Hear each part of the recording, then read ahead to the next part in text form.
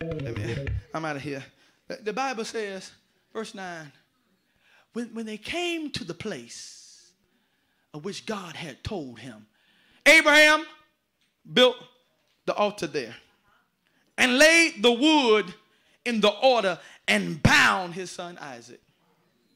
Here, look, look at this. Look at this picture. Give me, give me that rope and bring and bring a chair with you too. Bring a chair with you. Bring a chair with you. I want, I want y'all to see this picture. I want you to see this picture because the Bible says he went up to this mountain and he bound his son. At this time, Abraham, say with me, at this time, Abraham is about 100 years old. Isaac is 25 years old. Can you imagine? Isaac sees the altar, he sees the rope, and then he tells his son, Come on, son, sit down. Now you look at Isaac and look at Abraham. If you look at Isaac, look at Isaac. Isaac can stop me if he wanted to. Him big. He sits Isaac down and tells Isaac to hold the rope. And Abraham his son. I love this because it was not Isaac that resisted because he's strong enough to resist. He's strong enough to say, No, daddy, what are you doing? Oh, but I'm glad that every now and then God will bind me to some things that I got the power to get out of.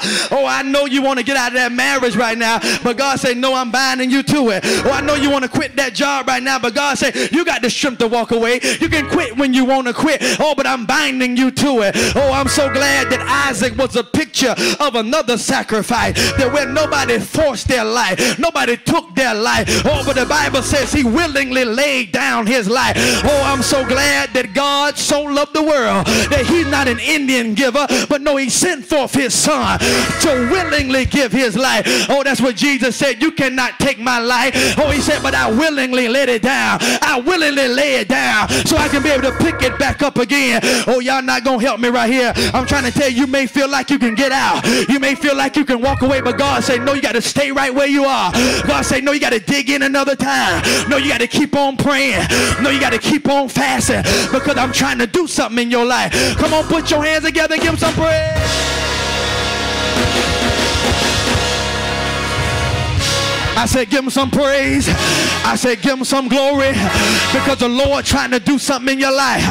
I see the last thing because when, when Abraham was getting ready to take the knife and getting ready to kill his son, the Bible says that the voice of the Lord said, Abraham, Abraham, don't do it.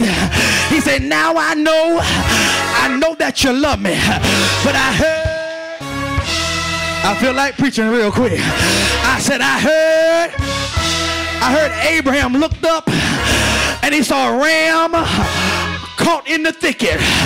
Y'all ain't gonna help me preaching here. The Lord provided himself a sacrifice. It's my job. Job to give me provision. I just like to believe the whole time Abraham was going up the one side of the mountain, on the other side of the mountain, I believe the ram was going up the one side. Abraham was coming up one side and the ram was coming up the other. You going up one side of the mountain and your miracle is coming up the other side. You going up in faith and your blessing is coming up on the other side. You walking in faith and then your miracle is taking every step. I heard I heard David say that the steps of a good man they're ordered by the Lord. And I heard I heard National Geographic say that the Rams, they don't even go up that high. When God gets ready to bless me, he will defy the natural law. You'll look down your road and say, neighbor, every now and then, God will, he'll break a rule. He'll break a rule. He's a rule breaker. He's a water walker. He's a one that'll open up the deaf ears. He's a one that'll open up the blinded eye. He'll break a rule. He'll come to where you are to see about his baby. He'll come where you are to give you what you need. I heard. Thank you, Brother Watts. I said, I heard.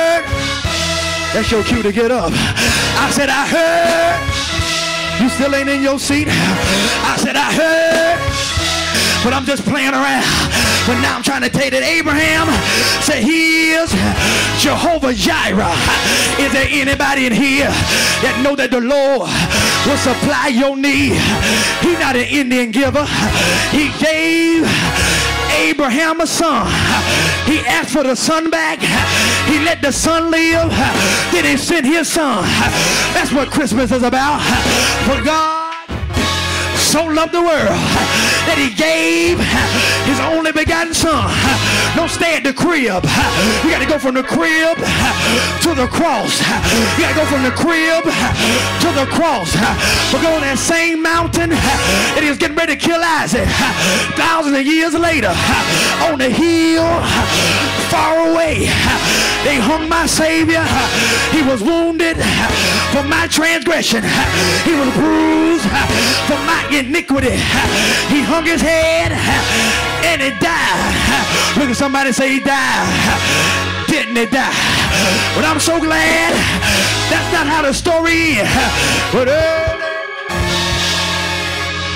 I said early, I said early, early, early.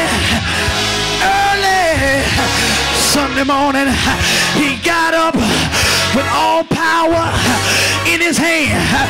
Come on, stand on your feet. If you receive the resurrection power, if you're glad about his sacrifice, come on, give God some praise, some glory, and some honor.